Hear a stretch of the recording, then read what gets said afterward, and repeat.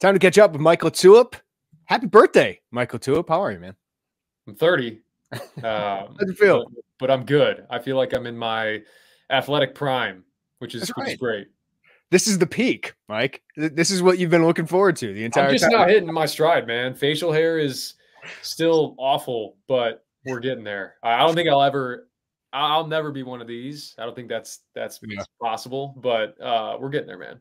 Yeah, that's never been a problem for me. I was growing this out at like age 20, so uh, then it fell out on top. So uh, that might be Yeah, the it's got to go somewhere, man. You're just Yeah. you're just reallocating. That's right. That's right. Yeah. Well, Mike, uh, Marcus Domask certainly hit his peak uh, against F- FAU. What what a phenomenal performance! Thirty three points. Illinois, huge, impressive win as he and Shannon each score thirty three points, both career highs. We got to start with Marcus Domask. I think we saw a little bit of a breakthrough against Rutgers, got him going a little bit. I mean, he's been good against really good opponents. Yeah. Uh, the low majors, not so much. Uh, but I, I know you didn't have a lot of concerns. But what do you think led to this performance for Marcus Domask? Well, it was uh, just to put the performance into context. The the graphic showed on the screen, but I mean, when you're talking about a top two, and Terrence is in there too, um, a top two scoring output in the Jimmy V Classic, that is that's insane because you think about the the P, the teams that get invites to that tournament are elite teams Oh most times. It's a very small field, and, and those games are, are typically great games with great opponents. So that alone is impressive. But but it is it is incredible for a few more reasons too. I, I mentioned the stage, right? Uh, the opponent. That's an opponent in FAU. I mean, what would they possibly be scared of coming into? I mean, after what they did in the tournament last year, how they've performed in these high pressure type of games, and they've typically in the past just with their toughness and str- they've bullied people and that's just you know davis uh, alijah martin that's that's what they do they back down guys and get into the pain and you gave them a taste of their own medicine but the the last part that i'll mention and why that performance was so incredible the efficiency. I, I mean him getting the 33 points on 9 of 21 shooting and shooting 10 free throws is a lot different than 15 of 21 and having two guys score 33 and having it be completely additive like completely additive.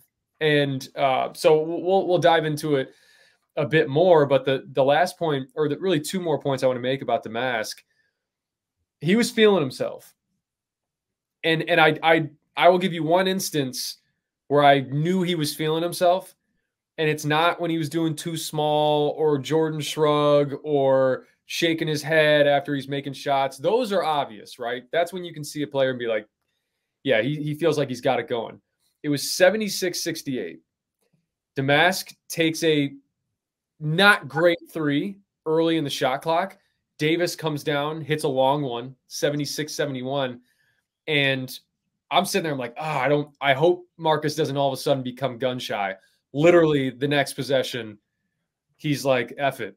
They go under again, and he he steps right back for three and drains it. So, and, then you know the point that I want to make to tie this all together is that he has a responsibility with his talent and his skill level. You have a responsibility game in and game out for your team and for yourself. And if you don't believe in yourself or you have this kind of timid nature, like we've seen against some of these go figure, you know, mid-major, low major teams, that's doing your team a disservice. And I'm not even saying that in a way that's hard on the kid, but that's the responsibility you take on as a really good player. Terrence Shannon, you know, think about the Penn State game last year at Mm-hmm. home. Terrence was awful.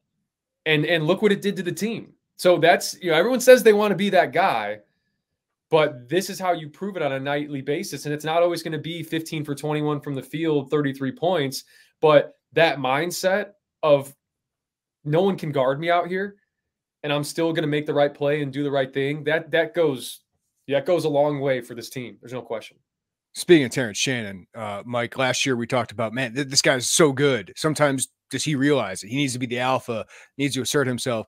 He has done that. And now, if you can get Domask, 33 is not going to happen maybe once more this season, right? But if you can get Domask giving you 15 plus most nights or, or frequently, what does that do for for Terrence Shannon if Domask can be that regular second option?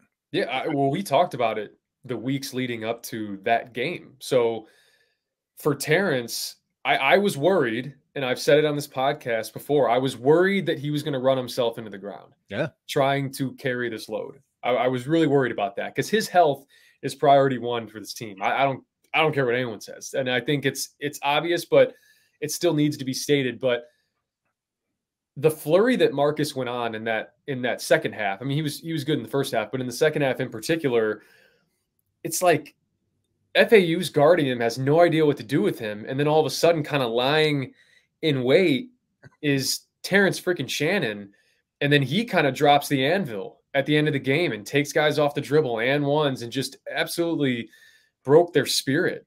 And that tandem is so important because not only just on the offensive side of the ball, but Marcus is good defensively. He uses his strength, he can move his feet, he levels you off. He is not just surviving on the defensive end and is just this offensive talent. He and, and that helps Terrence too, because we've talked about it before. And I want to shout out Ty Rodgers. Ty Rodgers has been incredible on that end. But you don't want Terrence to feel like he has to guard the best player every night, in addition to carrying this offensive load. And the last point that I'll make is all these teams prepare Big Ten teams, non conference, they all prepare. You don't want 98% of the scouting report to be Terrence Shannon.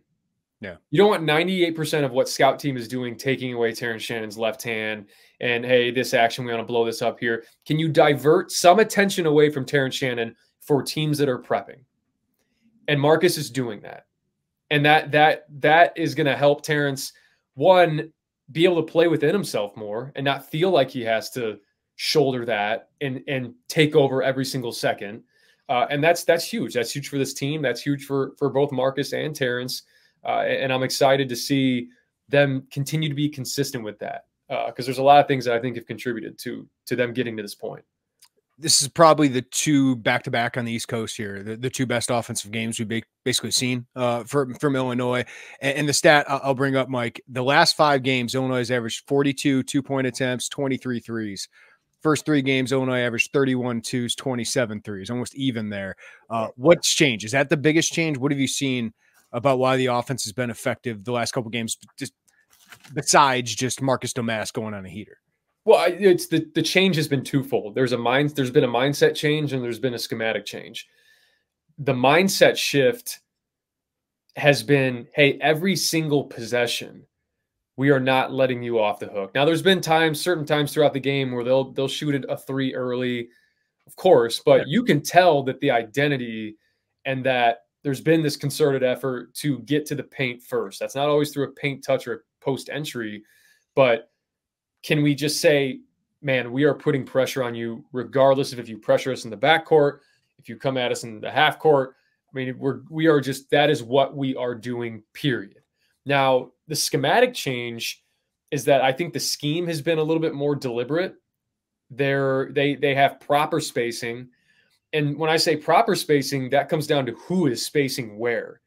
And there was a great like all 22 look that they did in Madison Square Garden when Marcus was isolating up top. They happened they happened to do it during the game, like almost like when you shift on NBA Live or NBA 2K and you, you shift the view. And it was a perfect look because you had Marcus dribbling the ball up top. And the change that they've made is that they're now putting Coleman Hawkins in the corner and Ty Rodgers is in the corner. So if those two guys are up on the wing, which a lot of times you want to enter it to Coleman Hawkins and have him play as this hub, which they still do at times. But hey, if we space Coleman to the corner, now if the two guys on the wings are Terrence Shannon and Luke Goode, those gaps are a little wider. Mm-hmm. And now these guys can operate and vice versa, right? Terrence Shannon has the ball, Marcus Domask is spacing on the wing. So where they've put these guys is equally as important to just simply, as opposed to just like having spacing. And then the other thing that I'll mention too is – they've been very you can tell we'll break it down on the film of course uh, but they've been very deliberate with the pieces that they have and what they want to run so instead of just doing hey they did some zoom action stuff where they'll enter it to coleman guy cuts over the top sets a down screen down screen into a handoff that stuff is good and they'll still run some of that but they've they're implementing some more like role replace actions so i know this is video so I, and if anyone's listening if anyone's listening listening on a podcast, I'm gonna try to break this down as the best that I can. But picture you know, you have your action that you go to to initiate the offense, and then eventually it is a Coleman Hawkins. You have Terrence Shannon in the right corner. Okay. Coleman Hawkins comes up and sets a screen for Marcus Domask to come off with his right hand. As he's coming off with his right hand, Terrence has now made his way under the basket, and there's a roll replace action. So we talked about Coleman weeks ago. We're like Coleman needs to start sprinting out of not just popping every time sprinting to the on the rolls. They're doing that. Mm-hmm. Coleman is rolling to the basket, and simultaneously, as he rolls, Terrence is coming up to the top of the key. So picture Marcus Domask off with his right hand, Coleman rolling, Terrence coming off the roll replace. When you throw back, you may have Coleman on the roll, but when you throw back to Terrence, what's Terrence doing? He's catching it, and it's a right hand, it's a left hand drive on the single side with with you know maybe it's Goody in that corner. Yeah, uh, that's the shift that needs to happen because sometimes they have Rodgers in that corner, and the, the tag man is way too far into the paint. So if they put a shooter into that paint, now you got Terrence option to Terrence, okay, or that low tag man is worried about the roll, and then they're also worried about chasing Terrence, and it's going to free up that skip pass to the other side. So you see where I'm going here. There are just so many options to play out of it and you have guys that can make sound decisions too. And then they have, you know, when they really want to simplify things, which is what they're doing too. It doesn't have to be complex. When they simplify things, I mean, some of those baskets were just dribble the ball up the floor, use your body, and score. Right. Yeah. Just I don't. Need, I was going through. I put some stuff into the film, but I'm also like, I don't need to just like analyze this too deep. This is a guy who has a size advantage and is putting you on his hip and going and scoring.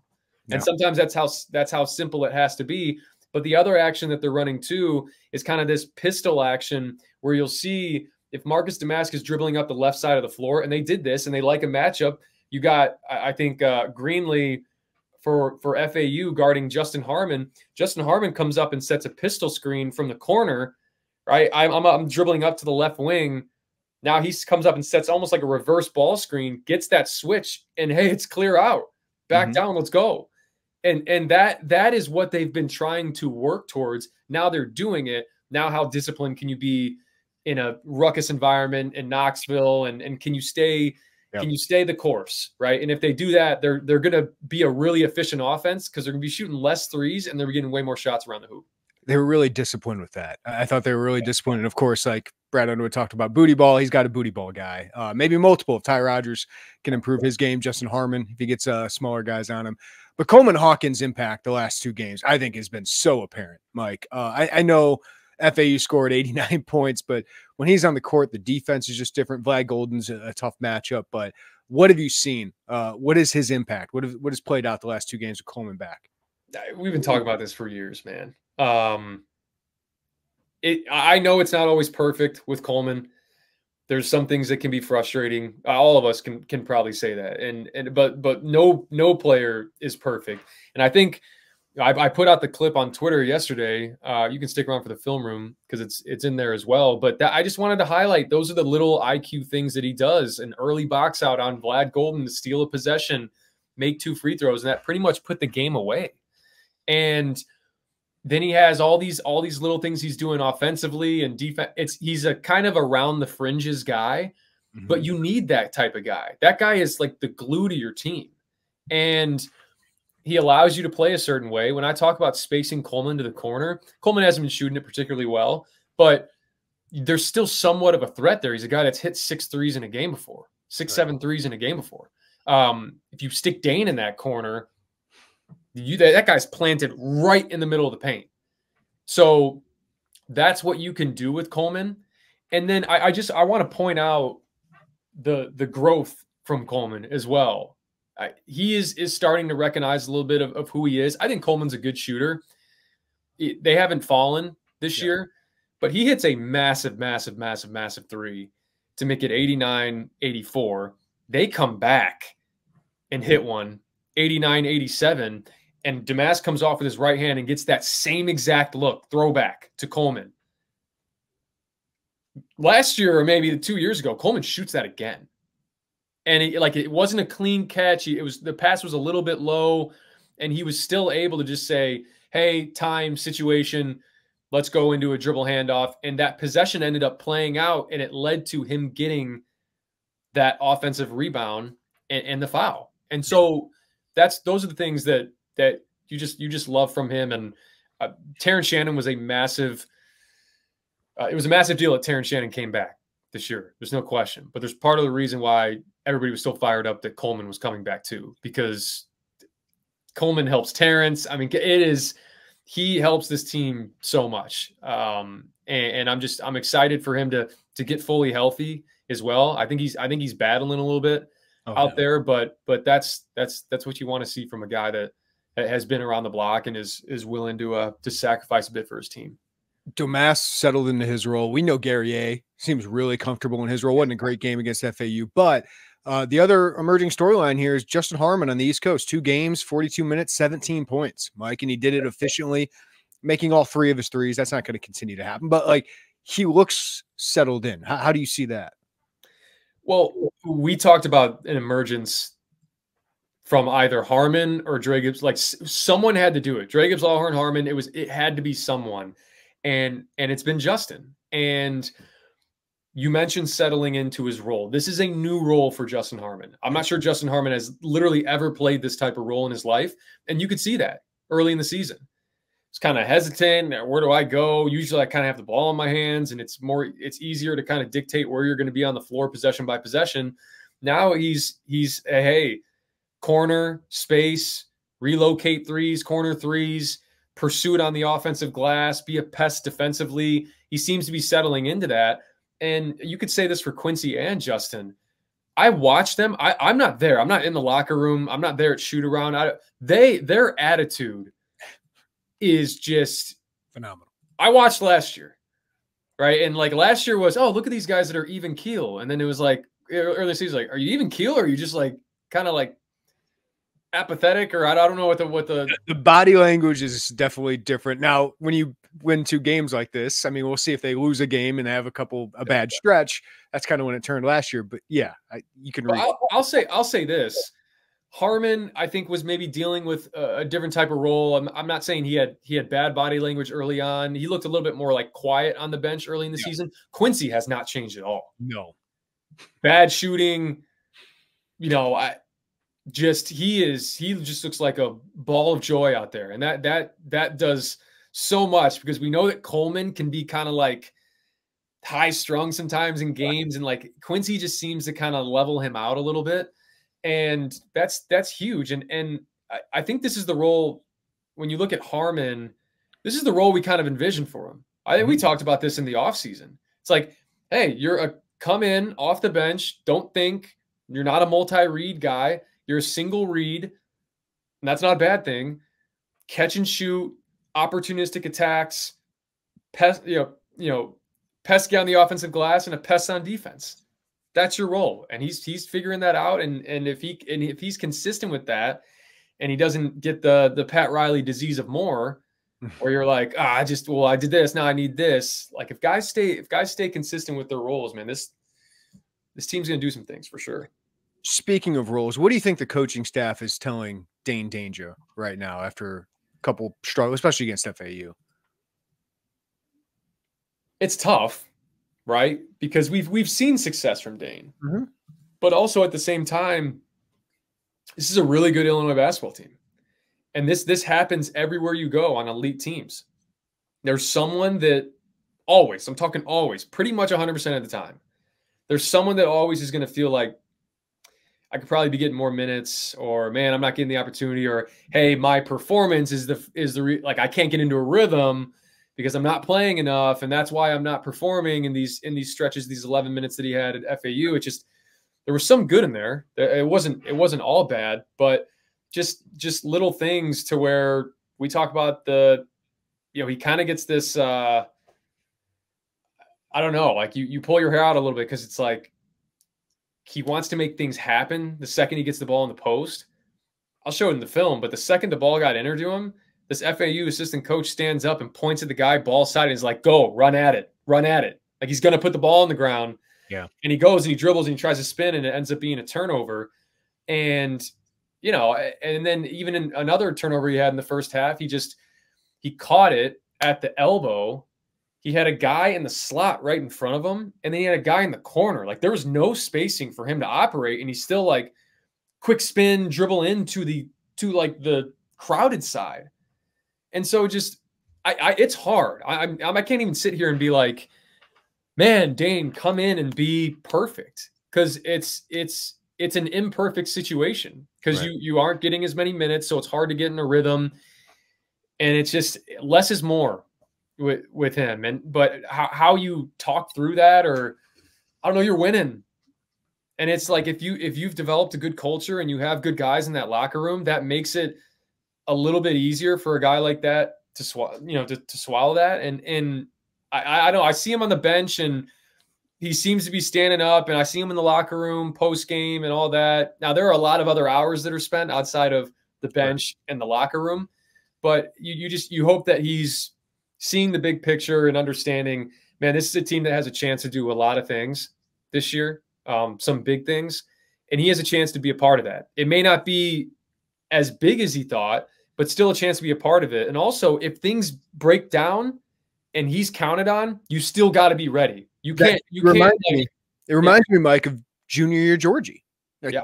All of a sudden, Kofi and Grandison are getting all those minutes, but there's gonna be games they need him. Like they're like Coleman's gonna be in foul trouble, or you know maybe Coleman's hurting or not playing well. They're gonna need Dain Dainja, so he's got to be ready. And, and Giorgi had some some frustrating games, but also some some really big games that, that we can remember against what Iowa uh, was it uh, in, the, in, the, Big Ten tournament. Like, so I, I, feel like if he accepts that, like you're saying, you, you just got to be ready. Uh, you got to be locked in. Well, I think Coleman's a great example of this.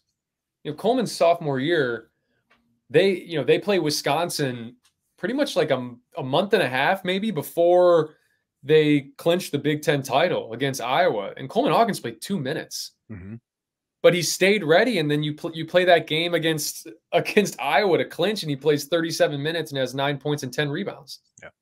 So you you you have a guy that you can potentially lean on in that in that situation. Or if you're Coleman, you're like pulling him aside. Hey man, just be ready. And and things just things just work out. I've never I've never been in a situation where I'm like, hey, if you have a bad attitude or if you're upset with your role, if that tends to persist, things typically don't work out the way that you you want them to work out. There's just there's a bigger picture at hand, and you just kind of hope that Dain sees that and buys into that. You've heard us talk about home field apparel since the start of the season. There are a lot of collegiate apparel brands out there, but we wanted to partner with Home Field because their designs are the best out there. Some of Illini Inquirer's favorites are the basketball ringer tee, the rose tee, and the 1980s long sleeve with the script Illini. It's great. Be sure to check out homefieldapparel.com, filter by Illinois, and see what we're talking about. And our listeners get an exclusive deal using code Illini23.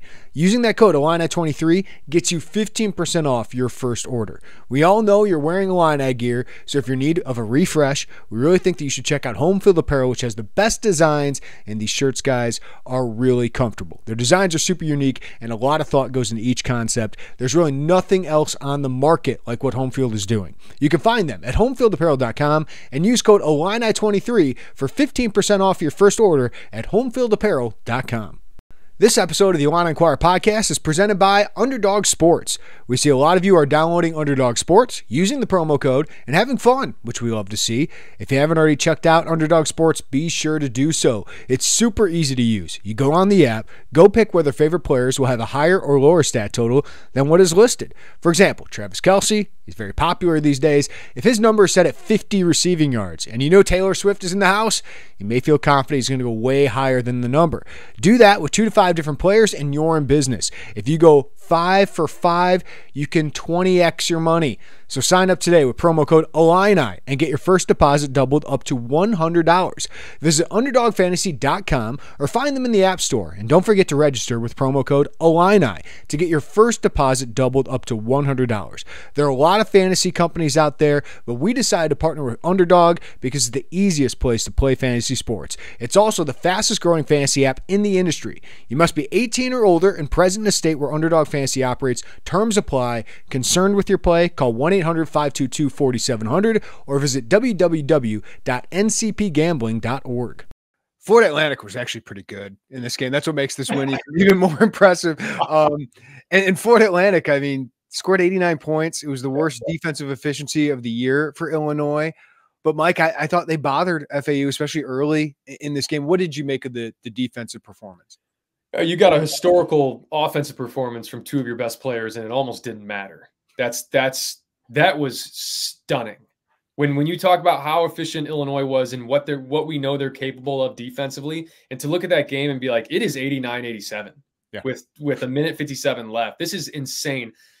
The thought of potentially wasting that performance, I don't even want to say wasting, but not being able to pull out a win, that would have been it would have been like Tennessee ruining a 37 point night from Dalton Knecht against North Carolina, right? hundred percent. And and and also it's just like as as hard as that would have been to swallow for Illinois, equally you just gotta you you had to tip your cap to FAU, man. I mean, they that is that is a team that I I would be shocked if they lost more than five games this year, and they've already lost two. Right. So eh, they just they have it everywhere. They their guard play and ability to shoot the ball and they have one of the better bigs and um, you know certainly in mid-major basketball, but he's he's a high major player. I mean, he's a he's a high major transfer in Goldin, and so and it's then you look awesome. at kind of awesome, Mike. They've they've played two teams I can see in the Final Four. Yeah, no question. It's awesome. Mar- yeah, Marquette and FAU. I, I, think are two teams that can make it there. Tennessee has a chance. You say they go more Yeah, if things shake out the right way, that they can do it. And look, FAU. I say you held them to 1.03 points per possession because it was a high possession game. Everybody looks at you can look at the 89 points. That was a higher possession game than the Marquette game, and Marquette paid, plays this like you know feverish mm-hmm. tempo. Um, you know, so that was I think the that was FAU's third lowest you know points per possession of the season, and Illinois did that um, and was still able to to pull that. I mean, Illinois was 1.25, and, and that this is still a really good FAU team defensively. So it's encouraging to see that this Illinois team can play a different type of styled game where it's like, hey, 164 possessions in a game and we can keep up. It's a lot. You not only keep up, we can score almost 100 points. And granted, there was a there was a very efficient 98 points, but that you didn't make 14 threes. That's right. that was one of my takeaways from this game was if you told me that Illinois put up 98 points, told me in the beginning of the season Illinois is going to put up 98 points against FAU in Madison Square Garden, I would have said, how many threes they hit? Because just like the UCLA game last year, everybody's celebrating the UCLA game. I'm like, I don't think Terrence is going eight for nine from three the rest of the season. Yeah, and I don't know if 15 for 21 is sustainable, right? Like Domask probably isn't going to score 33 again, but Mike, the way they got it, the looks felt way different than UCLA or even Texas last year. Like that. Yeah. So do, do you feel like this is a different kind of win than than last year? Do we take more out of it? Should we should Illinois fans feel more encouraged about this one than the two huge wins they had last year? It's a loaded question, and I'll give you I'll give you a few different answers to that, um, or I'll, I'll take it in a few different directions. One, it's different because it felt like you were never out of it uh, you felt like you were out of it against UCLA and Texas last year. Yeah.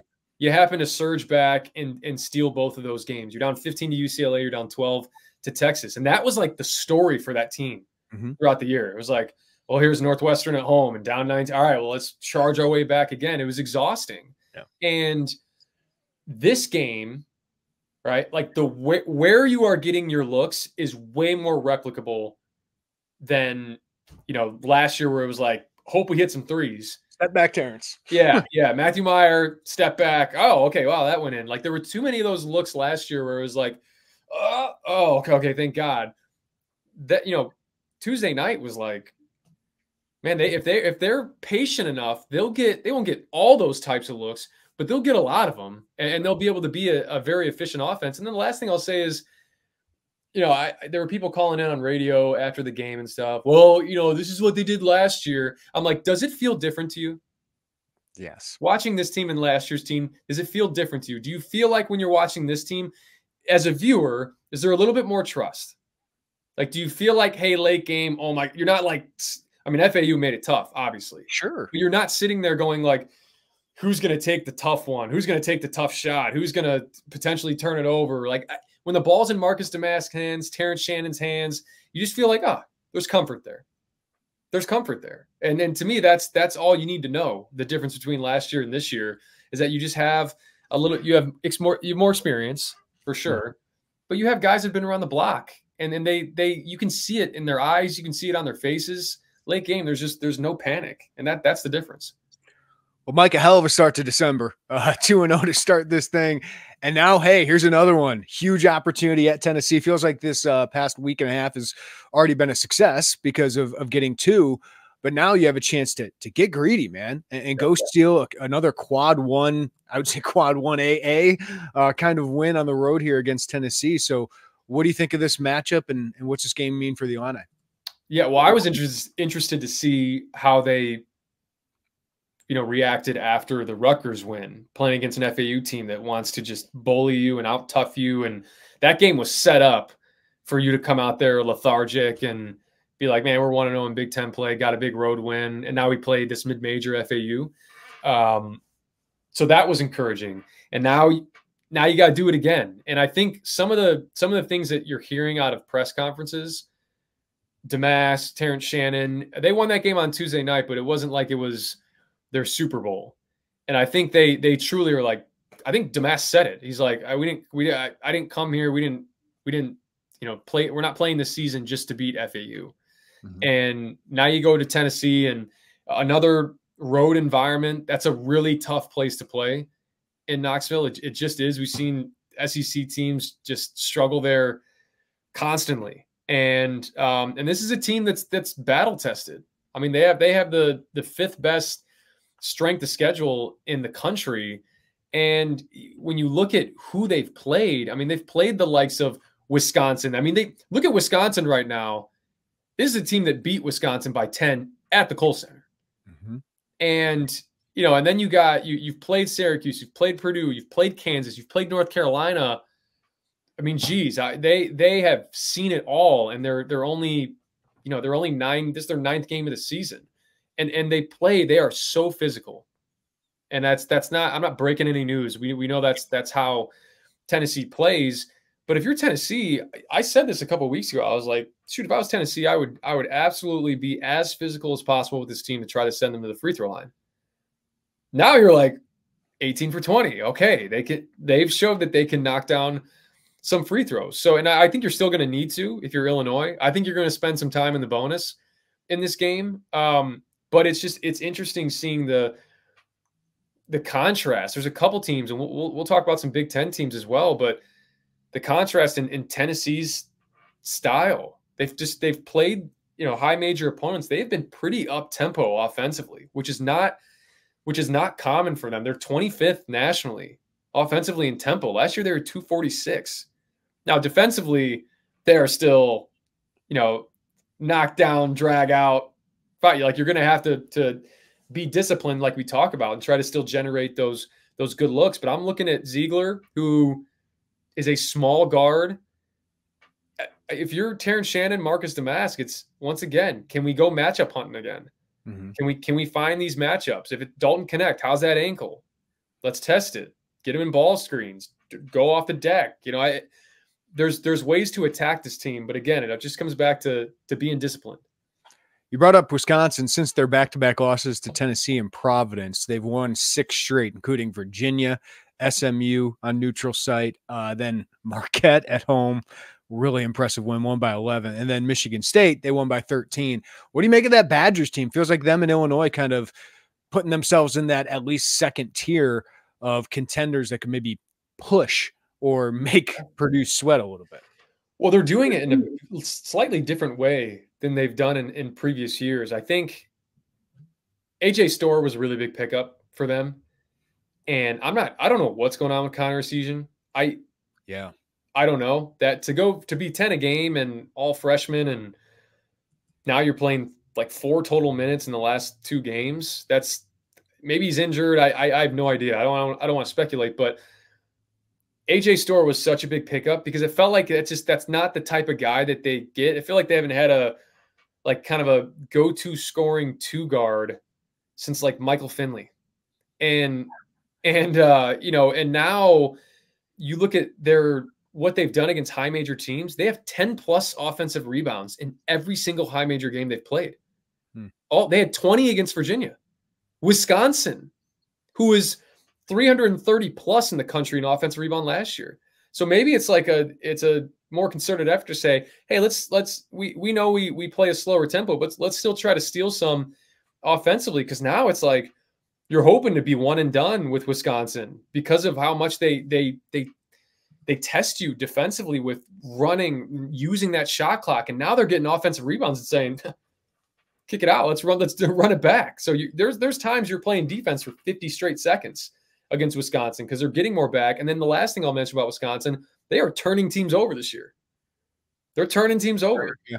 And and and Storr, like they're getting into passing lanes, they're getting into you, and that has not been a staple for for Wisconsin. Wisconsin's taken care of the ball over the years, and they're like 90th in the country this year in in taking care of the ball. But the flip side is they're getting more back on the defensive end. So, man, and they're they've got skill offensively. Crowl can step out, and and he's he's a skilled big man. So. I, not a lot of people were high on Wisconsin. They had a disappointing finish to the year last year, but here they are again, like the yeah. Grim Reaper. That's right. Uh, it's way too early to be thinking about this, but we can do it. At Wisconsin, March 2nd, home against Purdue, March 5th. That feels like it's going to be some, some big games. And you finish the, the Big Ten season at Iowa. Which team do you trust the most to bounce back? Michigan, which eh, through a couple games felt like, oh, maybe this team is good because they got some talent. Maryland, I, I know they beat Penn State in overtime. That was not a very impressive game or Michigan State. Like of those three teams, Michigan, Maryland, Michigan State, who do you think bounces back? Michigan, Maryland, and Michigan State. Yeah. If you threw Indiana in there, I know they're 2 0 right now in, in conference. I, I would say Indiana because I think they what they do defensively. But I mean, I'll probably go Michigan State. Um, I you know how I felt about them going into. Yeah, season. you were very skeptical of them. They, I, they, I top five in the country was insane. And it, it, probably did them a disservice too. You lost your best player in Joey Hauser. I don't care what anyone says. Joey Hauser was the best player. 45% from three, leading rebounder, floor spacer. You're a ball screen team. I, have said it a million times before.